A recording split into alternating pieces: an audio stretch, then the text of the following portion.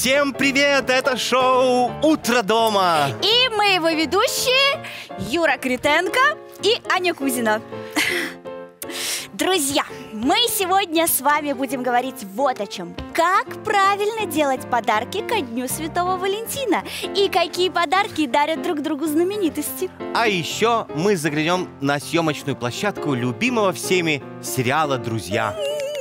Да, поговорим о том, каково это быть женщиной-ученым. К нам в гости придет кандидатка биологических наук и популяризаторка науки. Очень интересно. Да, я полагаю, что мы можем начинать. Впереди у нас три часа интересной и полезной информации. Поехали! Давайте начинать!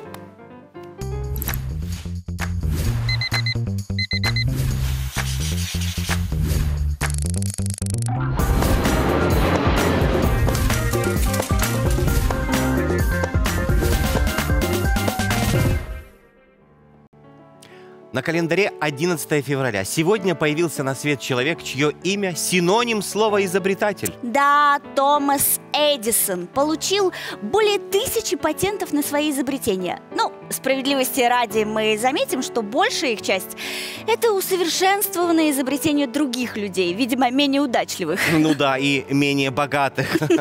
Ведь, чтобы довести до ума свои изобретения, конечно же, нужны деньги. Эдисон был талантливым бизнесменом, поэтому всегда умел и зарабатывать на своих изобретениях, и вкладывать дальше на развитие. Да, ну, так или иначе, именно он создал фонограф, усовершенствовал телеграф, телефон, киноаппаратуру, электрическую лампу накаливания и много чего еще.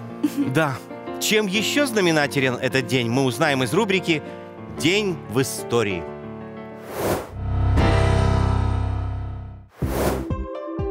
11 февраля 1922 года в Торонто объявили об открытии инсулина. Автором открытия стал канадский врач-физиолог Фредерик Бантинг. Когда-то от сахарного диабета умер его друг. Печальная новость настолько потрясла начинающего врача, что он решил немедленно заняться изучением опасного заболевания. Совместно со своим лаборантом Чарльзом Бестом Бантинг проделал грандиозную работу, в результате которой удалось выделить инсулин. И в январе 1922 года молодые ученые впервые испытали инсулин на человеке с сахарным диабетом. Первая инъекция вызвала у него аллергию. Ученые усовершенствовали свое изобретение и уже через несколько недель ввели инсулин пациенту снова. Результат превзошел все ожидания. Со временем у больного нормализовался уровень сахара в крови. Через год за важнейшее для человечества открытие, спасающее жизни миллионов людей, Фредерик Бантинг получил Нобелевскую премию.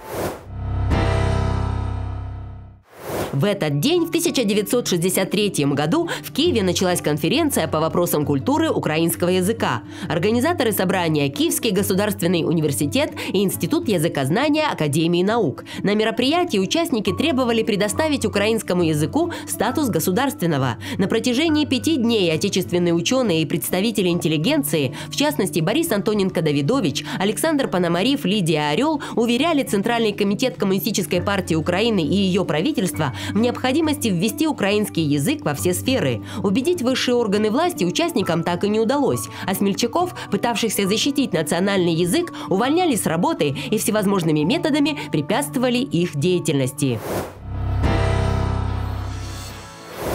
53-й день рождения отмечает сегодня популярная американская актриса Дженнифер Энистон. Она родилась в актерской семье в калифорнийском городке Шерман-Окс. Уже в 11 лет Дженнифер начала выступать в театральном кружке. Получив среднее образование, поступила в Нью-Йоркскую школу актерского мастерства. Окончив учебное заведение, Энистон дебютировала в бродвейских постановках. На большом экране актриса впервые появилась в 21 год в эпизодической роли. Расцвет ее актерской карьеры пришелся на 1994 год. Тогда зрителям представили комедийный сериал «Друзья», где Энистон превосходно сыграла избалованную девушку по имени Рэйчел.